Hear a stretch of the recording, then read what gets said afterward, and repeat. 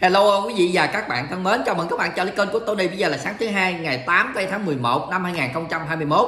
Chúc tất cả quý vị và các bạn một ngày thứ hai, một cái tuần lễ mới an lành, mạnh khỏe và hạnh phúc nha. Trở lại các phần tin tức buổi sáng ở Mỹ ngày hôm nay, Tony xin phép được chia sẻ cũng như là cập nhật với các bạn những cái thông tin nóng nhất, mới nhất về tình hình của nước Mỹ, về cuộc sống của người dân Mỹ và những cái sự kiện gây cấn nóng bỏng nó đang xảy ra, bao gồm hai nội dung sau đây. Nội dung thứ nhất, rầm rộ hàng chục tiểu bang đã bắt đầu chống lại cái lệnh của chú Bảy cũng như là kiện chú Bảy. Nội dung thứ hai, ba trường đại học hàng đầu ở Mỹ đã di tản vì bom. Đó là những vấn đề mình sẽ chia sẻ sau đây mời các bạn theo dõi. Cũng như thường lệ nếu các bạn thấy thông tin nó hay, nó hữu ích, please đừng ngần ngại bấm nút chia sẻ và để lại một cái like viết và chữ bình luận để ủng hộ tinh thần cho Tony và channel. Cảm ơn các bạn rất nhiều.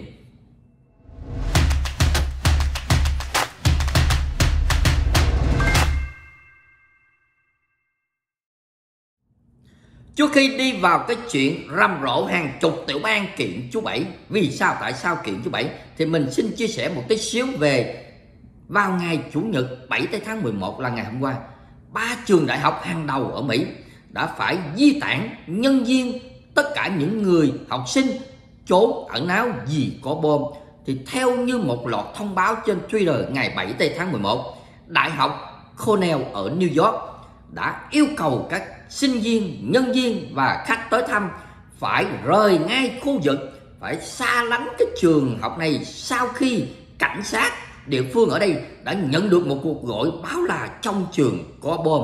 Rồi cũng tại thành phố New York, Đại học Columbia đã phải di tản rất là nhiều người ra khỏi những cái tòa nhà này tại vì bị dọa là đánh bom phải mất hơn 3 tiếng đồng hồ cảnh sát mới coi như là lùng sụp bom cũng như là các uh, lính đặc nhiệm những người rà bom mìn đến.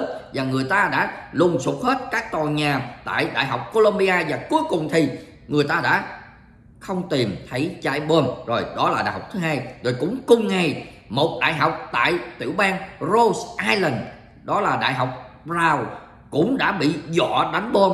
Và cảnh sát phải di tản everybody ra khỏi cái trường đại học Brownie này và sau đó người ta đã đem lính đặc nhiệm đến, lính rà mìn, rà bom đến. Và cuối cùng thì sao? Người ta cũng không tìm thấy trái bom. Rồi trong khi đó, đại học Yale ở bang Connecticut vào ngày 5 tháng 11 cũng đã bị dọa là đánh bom và có bom. Và sau đó thì cảnh sát cũng phải di tản everybody và cuối cùng họ cũng phải mất mấy tiếng đồng hồ để tìm trái bom. Rốt cuộc không thấy trái bom. Vậy là từ ngày 7 sụt xuống tới ngày 5 từ ngày 5 cho đến ngày 7 tháng 11 thô đồ lại là có bốn trường đại học nổi tiếng hàng đầu ở Mỹ đã bị dọa đánh bom và coi như phải di tản, phải ẩn náu. Không hiểu là ai đã làm cái điều này. Có thể người ta không thích chính quyền chú bảy. Hay sao sao đó? Bây giờ FBI đang điều tra điều tra các cuộc gọi, điều tra người báo cáo có bom đó bạn. Rồi, đó là cái nội dung thứ nhất. Bây giờ mình sẽ đi vào cái nội dung thứ hai.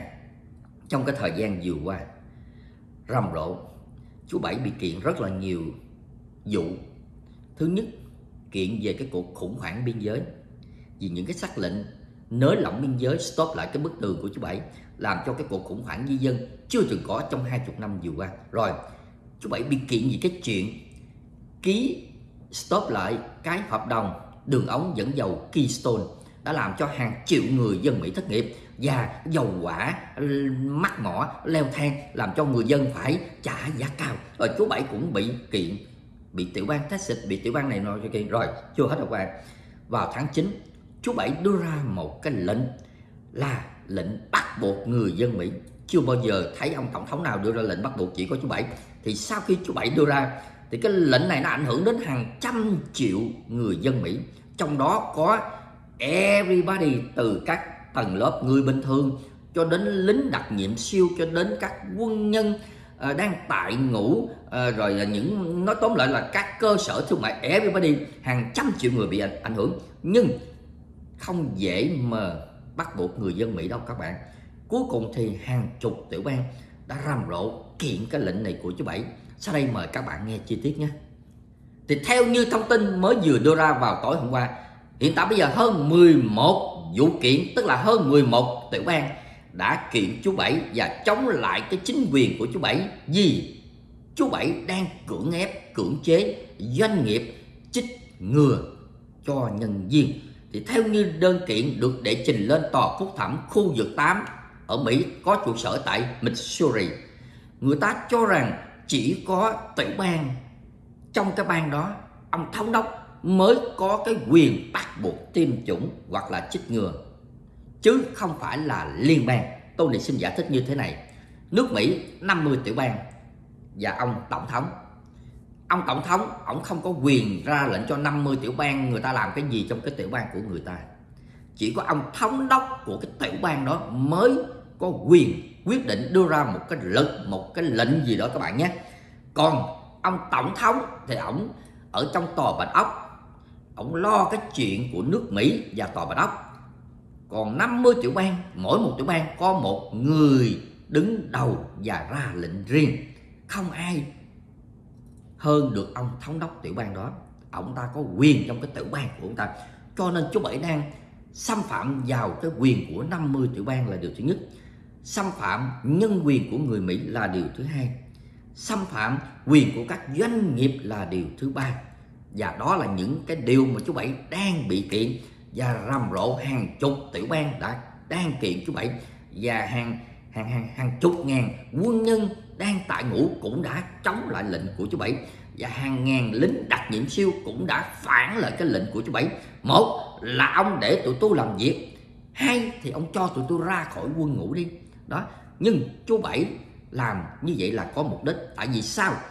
Cố tình làm như vậy để cho quân lực của nước Mỹ bị suy giảm, không có đầy đủ tinh thần để mà chuẩn bị chiến đấu. Tại sao? Giảm quân lực thì dĩ nhiên không đủ khả năng để chiến đấu chống địch. Đó các bạn. Cho nên hiện tại bây giờ, chú Bảy đang bị kiện rầm rộ. Tất cả người dân Mỹ, người ta còn nhớ lúc mà chú Bảy giơ ta lên tuyên thệ chú Bảy có hứa với người dân Mỹ và đất nước Mỹ như thế này. Chích ngừa là một điều tốt. Tôi khuyên, tôi khuyến khích, chứ tôi không bao giờ bắt buộc người dân Mỹ chích ngừa. Tôi không bao giờ ra một cái lệnh ở trên cái đất Mỹ này bắt người dân Mỹ chích ngừa. Nhưng chỉ sau vài tháng chú Bảy quên mất tiêu. Bây giờ chú Bảy làm ngược lại những gì chú Bảy đã hứa. Các bạn thấy không? Cũng như cái chuyện khủng hoảng biên giới. Chú Bảy hứa với những người di dân khi mà chú Bảy vận động tranh cử á, bầu cho tôi đi, tôi lên, tôi mở cửa biên giới cho mấy người vào. Cuối cùng chú Bảy cũng đã làm được cái điều đó, nhưng thấy hậu quả ghê gớm quá, đổi ngược lại. À tức là không làm nữa. À làm cho những người di dân người ta, chửi người ta này nọ kia, thì bây giờ chú Bảy làm cách gì để bịt miệng người ta? Cho tiền 450 ngàn một gia đình. Mỗi người di dân đó các bạn, một gia đình đó yeah. Dạ. Các bạn thấy không? Vô lý. Không hợp lệ, không hợp pháp. Cho nên, chú Bảy cũng bị các ông thống đốc chống lại. Cái cái chuyện tào lao mỹ lao này, lấy tiền thuế của người dân mỹ mà đi cho người di dân. Trong khi đó dân mỹ thì người ta cà lưng ra, người ta làm 10 năm 20 năm, người ta chưa để dành được 450 ngàn đô la nữa các bạn. Cho nên, nói tóm lại là chú bảy là một tổng thống mà làm những cái chuyện độc lạ mà chưa bao giờ có trong cái lịch sử của nước mỹ này. Rồi sau vài phút nhanh gọn lẹ, buổi sáng ngày thứ hai đầu tuần tôi này cập nhật cũng như là chia sẻ với các bạn những cái thông tin nóng nhất, mới nhất về tình hình của nước mỹ, về chính quyền của chú bảy cũng như những cái sự kiện mà chú bảy đang làm rầm rộ, bị kiện. Thì tôi này cảm ơn các bạn rất nhiều đã bỏ ra những giây phút quý báo để xem cái video này. Nếu thấy nó hay, nó hữu ích đừng ngần ngại bấm nút chia sẻ để mọi người xung quanh chúng ta cùng nhau cập nhật. Và đừng quên để lại một cái like, viết và chữ bình luận để ủng hộ tinh thần và channel dùm tôi này nha. Bên cạnh đó thì tôi này cũng xin thông báo tôi này có cái channel thứ hai tên là Tony Lê Houston. Chút xíu nữa tôi này sẽ để cái đường link ở bên dưới phần bình luận cô chú bác anh chị em lúc nào à, muốn xem về nhà cửa phong cảnh à, cuộc sống của người Việt ở Mỹ thức ăn à, những cái mà xem cho vui xem để biết thì à, vào bên trong cái channel đó xem nhé. Và đừng quên ủng hộ tôi này bằng cách là bấm nút đăng ký và bấm cái chuông để à, tôi này có động lực làm ra nhiều cái video mới nữa trong cái channel thứ hai và cả luôn channel thứ nhất này nha. Cảm ơn các bạn rất nhiều. Have a good week. Bye bye.